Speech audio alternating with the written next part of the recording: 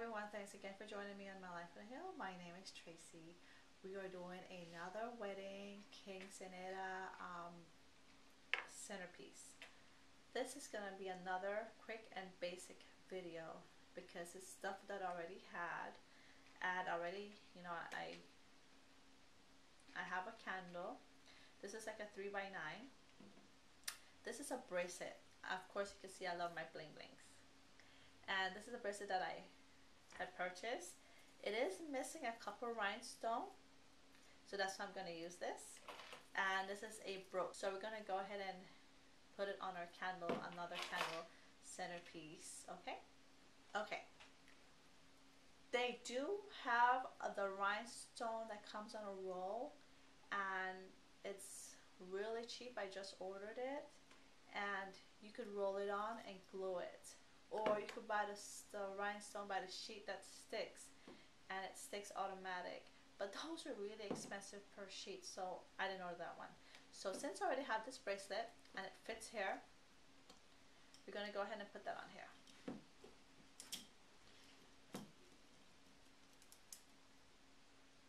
I'm not to glue it on because since it's so tight if I glue it it's to probably smudge all over the place and this crazy glue gun that I have right now that I don't like but I'm using it because that's all the glue stick all the glue sticks that I have left. When I'm finished buying when I'm finished with those glue sticks I'm gonna go ahead and buy replace my other ones.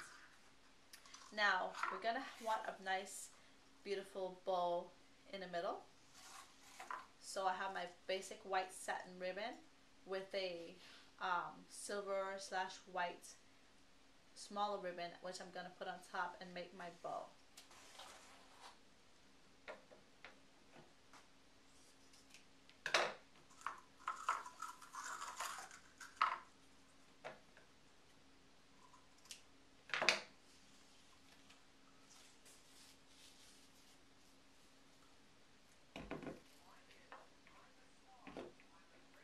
So we have one way.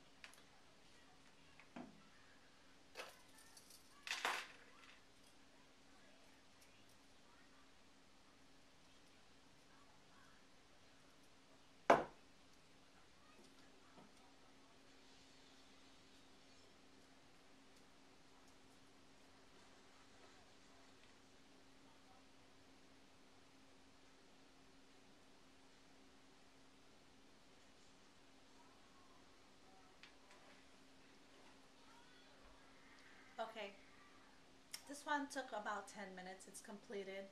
The only time I used a glue gun was to glue on the brooch. Um, everything else, this is just a bracelet that I, I had. It's missing a couple rhinestones. Um, so I just put it on there. So if you want, you could take it off. It's yours. And I didn't even glue the back of the ribbon. So you could move it. You could move it up and down as you please, and let it overlap. So this is another um, centerpiece that you can use for your bridal shower, for your wedding, for quinceaneras, baby showers, um, whatever it is that you may be, if you want it for. I hope you like it. It's going to be another giveaway, but after the first one is completed, the first candle with the purple is completed, then we're going to do this.